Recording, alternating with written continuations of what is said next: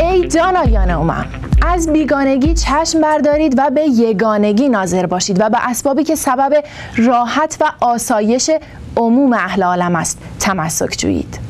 این جستجوست. فصل سوم شماره شش. بعضیا از محل زندگیشون بیرون میشن. بعضیا هم هیچ وقت و به هیچ حکمی از محل زندگیشون بیرون نمیشن. اما اونقدر فشار بهشون وارد میشه که ناچار به ترک محل زندگیشون میشن. گرسنگی و فقر یکی از این دلایل یعنی مسائل اقتصادی.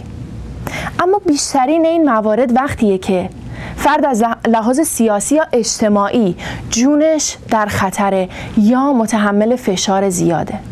یا به هر گونه تبعیض در حقش روا بشه که مجبور بشه برای زندگی به یک کشور دیگه ای بره و به اصطلاح, پناهنده بشه. اما شرایط پناهندگی هم شرایط مطلوبی نیست. برای همین باید خیلی فرد تحت شرایط سخت و بحرانی باشه تا تن به ترک خونه و زندگی و کار و درآمد و مهمتر از همه وطنشو بده. البته پذیرفتن پناهنده از طرف سازمان های مربوطه و کشورهای دیگه هم سخته. چون که هر سختی رو دلیل بر عدم تحمل شرایط موجود نمی‌دونن. به هر حال همونطور که گفتم مسائل سیاسی یکی از علتهای عمده پناهندگیه. آدمای اهل سیاستی که به خاطر تعلقشون به کشورشون حرفایی بر گفتن دارن و به خاطر اون حرفا هست که تحت فشار قرار می‌گیرن معلومه که کشورشون رو دوست دارن. یا باید که دوست داشته باشن. بدیهیه که ترک اون براشون خیلی سخته. باهایی هم به خاطر تبعیضات مذهبی که در ایران هست خیلی تحت فشارن. اما همیشه سعی کردن به خاطر تعلقی که به کشورشون دارن همه این موزلات رو تحمل کنن و بمونن و برای آبادی کشورشون تلاش کنن. ولی تو برخی مواردم مجبور شدن به عنوان پناهنده مذهبی علا رغم میل باطنیشون وطنشون رو ترک کنن. 20 جون روز جهانی پناهندگانه. امیدواریم که هر چه زودتر این عنوان از تقویم حذف بشه. یعنی کسی لازم نباشه به خاطر ترس از جون خودش یا عزیزاش کشورش رو ترک کنه که بخوایم پناهنده ای رو داشته باشیم و روزی رو هم به این نام بذاریم. اما پناهندگی هم یه جور سفره. هرچند خیلی خوشایند نیست. اول تابستونم فصل سفره. دریچه جستجو بازه برای سفر. همسفر ما باشید.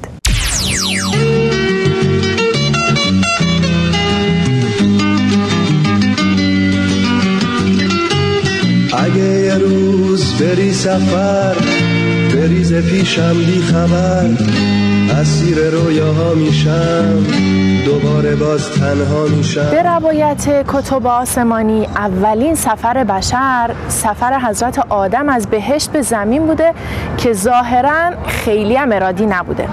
اما سفرهای مهم در طول تاریخ بشر کم نیست و هر کدوم از اونا سرآغاز تحولی بزرگ در تاریخ بشر بوده. جالبه که معمولا خیلی از سفرهای ما برای خودمونم سرآغاز تحولی مهم تو زندگیمون میشه. اولا که شما حرکت رو نمی‌تونید از این دنیا جدا کنید. معمولا میگیم سفر مثلا از این نقطه من بلنشم برم یه نقطه دیگه دنیا. ولی انسان در هر لحظه زندگیش در حال سفره. یعنی منی که هراکلیتوس جمله جالبی داره. میگه انسان هیچگاه دو بار در یک رودخانه پا نمی‌ذاره. یعنی همین لحظه که من و شما داریم صحبت می‌کنیم و حرف می‌زنیم در واقع ما داریم سفر می‌کنیم. اما از سفرهای مهم تاریخ هجرت حضرت محمد که نه فقط نقش مهمی در تاریخ اسلام داشت بلکه سرآغاز تقویم هجری هم بود. سفرهای مارکوپولو که موجب آشنایی کشورهای غربی با فرهنگ و مردم شرق شد. سفر کریستوف کلم که باعث کشف قاره آمریکا شد. سفرهای حضرت بهاءالله از جمله به کوههای سلیمانیه و سفر حضرت عبدالبها به کشورهای غربی که این دو در دیانت بهایی از اهمیت زیادی برخوردارند و سفر به فضا توسط یوری گاگارین که تحقق یکی از آرزوهای انسان بود. از قدیم مردم سفرنامه می نوشتن ناصر خسرو سفرنامه می نوشت شریک می کرد بقیه رو تو تجربیاتش. قبل از برداشتن پول و ساک و حتی مسواک انتخاب همسفره که خیلی مهمه. میگن که دوست رو باید توی سفر شناخت ولی فقط دوست نیست که باید تو سفر شناخته بشه. خیلی چیزای دیگه هم باید تو سفر شناخته بشن و مهمتر از دوست خود آدم و ظرفیت هامونه. ما توی سفر فرصت داریم به خودمون نگاه دیگه ای داشته باشیم. خودمون رو تو شرایط متفاوتی بسنجیم. قابلیت انتباق با شرایط مختلف و حتی گاهی وقتا سخت رو تو خودمون ارزیابی کنیم. تو سفرهای دست جمعی روحیه هماهنگی با جمع و کمک به اینکه به همه خوش بگذره رو تو خودمون پیدا کنیم. البته شناخت دوست هم جای خودش رو داره اما شناخت محیط های جدید، فرهنگ های متفاوت، آداب و سنن و حتی زواهر مختلف رو هم نباید از یاد ببریم. سفر همیشه هم سفر می‌خواد دل کندن از غم بال و پر می‌خواد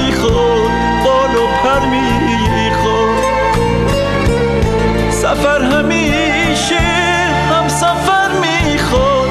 دل کندن از غم بال و پر می‌خواد بال و پر می‌خواد. این امکان رو به من میده که من خیلی از ابعاد وجودم رو متحقق بکنم به منصه عمل در بیارم. اهمیت سفر اونقدر زیاده که بخشی از تخیلات بشر در قالب سفر نشون داده شده. مثل دور دنیا در 80 روز سفرهای تخیلی به فضا یا به اعماق زمین سفر به سرزمین عجایب و فرسنگ ها زیر دریا. سفر خیلی آموزنده است و وقتی که شما روبروی افراد مختلف دنیا وامیستید با اونها غذا می‌خورید صحبت می‌کنید بهشون نزدیک میشید می‌بینید که اونها هم انسان هستند و همون حالتی رو دارن که شما دارید از دیگر فواید سفر میشه به این نکات اشاره کرد. غلبه بر فشارهای روحی و جسمی و در نتیجه دوری از استرس و استراب. تعادل در حالات جسمی و فیزیکی که در شرایط مختلف امکان انتباق رو پیدا می‌کنن. بهرهمندی از هوای آزاد و ارتباط با طبیعت. فرصت برای ارتباط بهتر و بیشتر با اعضای خانواده. سفر باعث میشه که آدم با مردم مختلف آشنا بشه به خلق و خوی دیگران پی ببره. باعث میشه که خیلی چیزایی که در زندگی هست آدم یاد بگیره. خب هم فال هم تماشا از قدیم گفتن. هم برای روحیات آدم خوبه. هم تجربهش رو خیلی زیاد می‌کنه. هرچی که سفر آدم بیشتر کرده باشه میان بسیار سفر باید تا پخته شود خامی. آدم یواش یواش پخته میشه. سفر عبور از مرز تکراره. هر جای تازه دنیای داره. پرنده ای باش با بال پرواز پر کن فضا.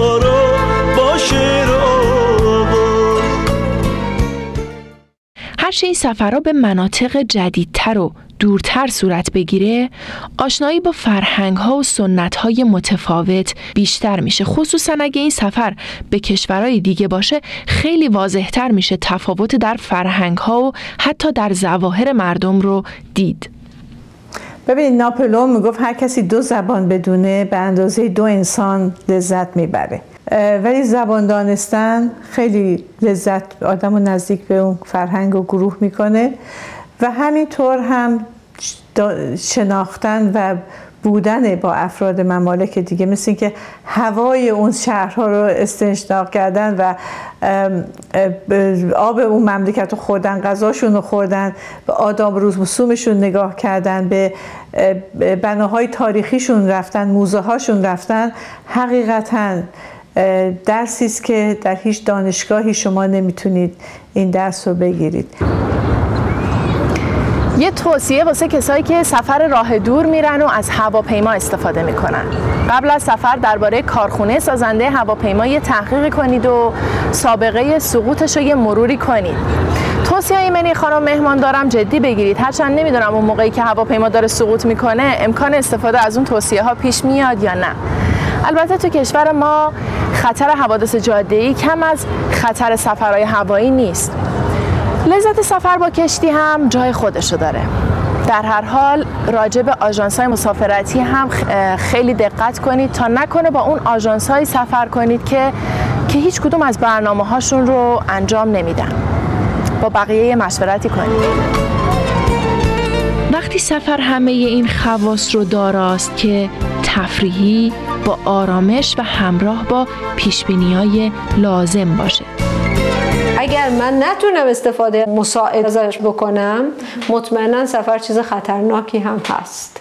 برای اینکه هم تعادل انسان رو به هم می‌زنه هم چالش های زیادی در درونش نهفته هست و هم ریسک داره هم خطر داره. در مورد سفرهای کاری و از سر اجبار ممکنه برخی از این نتایج آید نشه ولی ممکنه نتایج دیگه ای مثل اضافه حقوق رو همراه داشته باشه. سفر هر جوری باشه فکر می‌کنم خوبه. اگر که سفر به معنای رفتن گردش و تفریح باشه که خب خیلی خوبه در روحی آدم اثر می‌کنه. اگر سفر به جهت رفتن و گرفتن یه سری اطلاعات آگاهی کسب علم و دانش باشه اون هم جنبه خیلی خوبی داره. به طور کلی سفر خیلی خوبه. به هر حال اگه سفر با جنبه هایی که گفته شد همراه باشه یکی دیگه از نتایج سفر هم تحقق پیدا می‌کنه که اون خلق خاطرات جاودانه هست. بعضیا که عاشق سفرن. تا تعقیب توقی می‌خوره و فرصتی پیش میاد مرخصی می‌گیرن شال و کلاه می‌کنن و چند تا پایه هم که پیدا کنن یا حتی اگه پیدا نکنن می‌زنن به جاده. خدا به همراهتون. منم توصیه می‌کنم که هر سفری رو که آرزو دارید داشته باشید معطل نکنید و فرصت رو از دست ندید. خصوصا ماه اصل حتی اگه چند سالی ازش گذشته.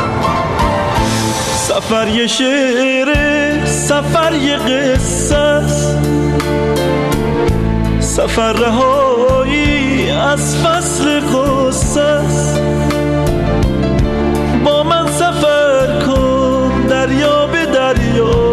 ساحل به ساحل تا آجرا از قدیم گفتن چه وسعت برسه چه نرسه خونوادت رو تو تعطیلات سفر ببر که روی خاطراتش نمیشه قیمت گذاشت. اما میگن کسایی که خیلی اهل سفرن و سفر رو دوست دارن قصدشون فرار از مبدع هست نرسیدن به مقصد. در هر حال از فواید سفر که نمیشه گذشت. اما مقصد رو همیشه در نظر داشته باشید. امیدوارم اونقدر تو شرایط مناسبی باشید برای زندگی که سفر راه فرار براتون نباشه. راه رسیدن به بهترین ها باشه. این دنیا هم یه مرحله از سفر ماست. ازش خوب استفاده کنیم و آماده سفر بعدی بشیم. لیلا راسخ میلانی از ده سالگی از ایران خارج شده و هرچند سال هاست از وطن دوره ولی هیچ وقت دقدقه های ایران براش کمرنگ نشده. همیشه دل در مسائل وطن خصوصا مشکلات زنان داشته. تحصیلاتش رو در رشته حقوق از دانشگاه ویک فورست در ایالت کارولینای شمالی به اتمام رسوند و الان وکیله و حقوقدانه. با وجود سه فرزند و کارهای خونه همچنان به فعالیت مشغوله. از سال گذشته بنیادی رو با کمک گروهی از خانمها تأسیس کرد که ازش می‌خوام توضیحات بیشتری رو در این زمینه بده. لیلا جان خیلی خوش آمدی. خیلی ممنون. تشکر می‌کنم که به من این به من و سازمانی که باش کار می‌کنم ایرانویان این موقعیت رو دادین که با شما یه چند لحظه بتونم صحبت کنم و با دوستان عزیز که در ایران هستن. تاسیس این مؤسسه ایران رویان کی بود و با چه اهدافی شروع به کار کرد؟ تقریبا سپتامبر سال 2010 که میشه هنوز یه سالم نشده من و تقریبا 7 تا خانم ایرانی جمع شدیم و مشورت کردیم و یه موضوعی بود که هممون واسمون خیلی مهم بود. ما می‌خواستیم که درباره حقوق زنان در ایران اقداماتی شروع کنیم و خیلی دوست داریم ببینیم که هم ایران ترقی کنه در آینده. و هم زنان نقش بزرگی داشته باشن در ایران برای ترقی اون واسه همین ما این سازمان ایران رویان رو درست کردیم چرا این نام یعنی ایران رویان رو انتخاب کردید؟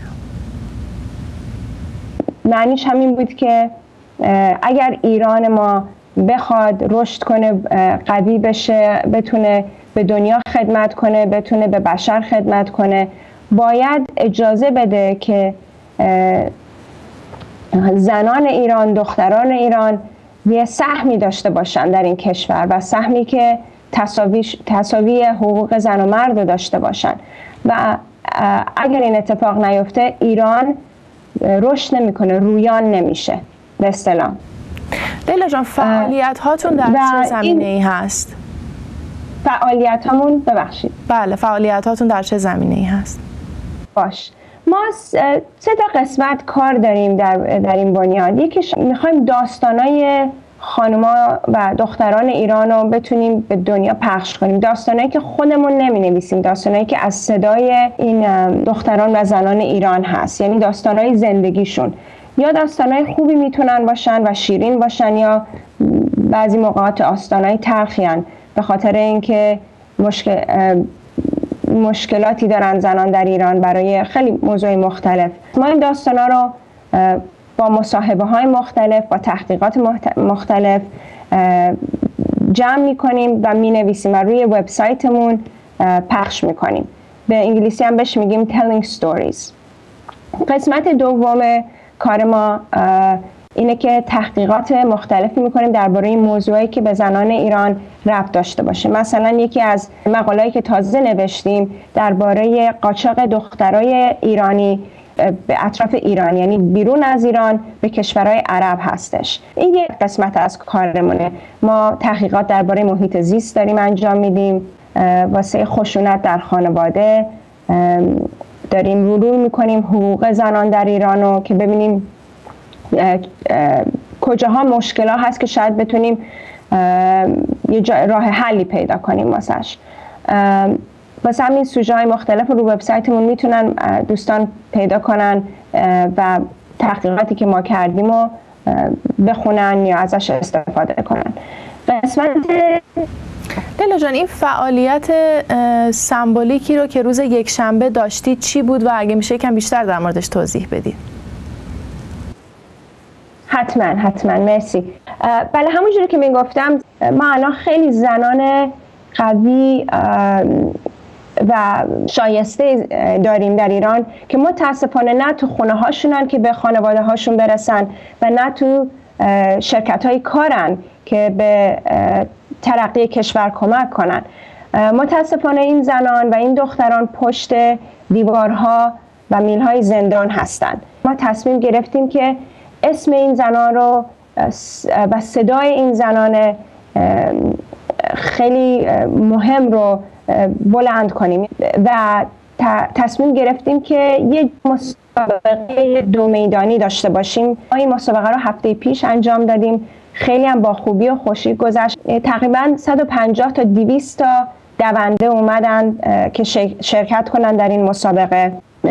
هر کسی که شرکت کرد شماره دونده دادیم ولی اسم یکی از زندانی های زن ایران هم بهشون دادیم که یادشون نره و اصلا پیاممون این بود که ما شما رو فراموش نمی کنیم یعنی شما منظورمون این زنان و دخترانی هم که تو زندانن در ایران. می‌خواستیم بدونیم ما هم دردی می‌کنیم باهاشون و این در دنیا باهاشون هستیم. و هر دونده روی اسم روی بلوزی که بهشون دادیم اسم تقریبا 60 زندانی بود که همه زندانی زن بودن در ایران.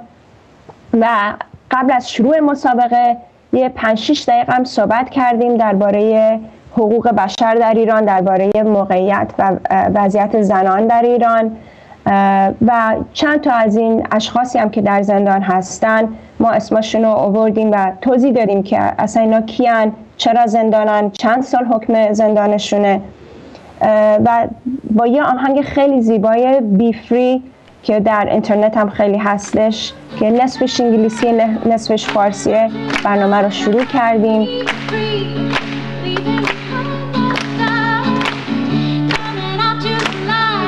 و دوندگان و اشخاصی که فقط می‌خواستن را برن مسابقه رو شروع کردن.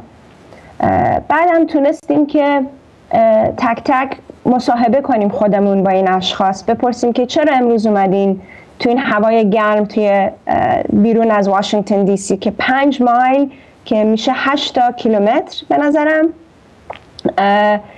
تو این گرمای روز را برین یا بدوین.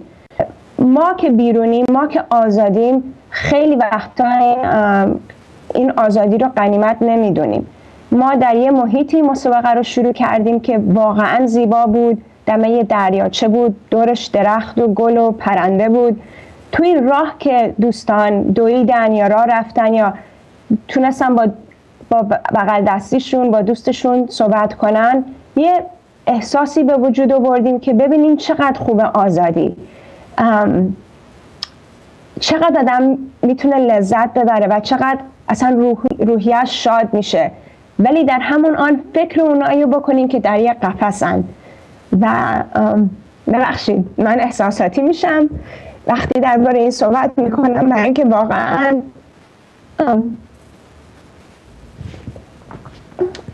خیلی سخته که توی این محیط ما باشیم ولی بدونیم که خواهرامون یا حتی برادرامون توی یک قفسند. و واقعا تنها کاری که کردن واسه ایران این بود که می‌خواستن ایران ترقی کنه یا به حقوق بقیه برسن. حال این به نظر ما همه خیلی برنامه خوبی بود همه خیلی لذت بردن. خیلی اصلا اومده بودن که هیچ خبری داشتن درباره تک تک این زندانیان. ولی وقتی که از این مسابقه تموم شد و رفتن اسم این زندانیان رو می‌دونستن. لیلا جان خیلی ممنون از حضور در برنامه ما امروز. متاسفانه به دلیل کمبود وقت نمی‌تونیم بیشتر از فعالیت های ایران رویان بدونیم اما خوشحال میشیم که ما رو در جریان بقیه فعالیت هاش هم قرار بدیم. خیلی ممنون که به من این موقعیت رو دادین و به ایران رویان این موقعیت رو دادین که بتونیم یه خورده چند لحظه با دوستانمون در ایران صحبت کنیم. واقعا ما فکرمون با اوناست و هر حرکتی که ما اینجا می‌کنیم به خاطر اوناست. خیلی روز خوبی داشته باشین. با تشکر.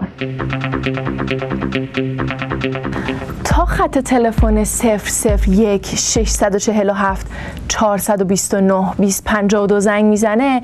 میگم شمایید خیلی ممنون از تماساتون. منتظر ایمیلاتونم با آدرس جستجو at هستم. توی فیسبوک هم اگه برامون لایک می‌زنید و کامنت می‌ذارید خیلی ممنون. و اگرم جز کسایی هستید که برنامه رو فقط نگاه می‌کنید و نه تلفن می‌زنید و نه ایمیل می‌زنید و نه روی فیسبوک پیغامی می‌ذارید بازم ما خیلی دوستتون داریم. شروع تابستونه و فصل سفر ولی هر جا میرید با جستجو همراه باشید. پس خدا نگهدار تا همیشه و منتظرتون میمونم تا بعد.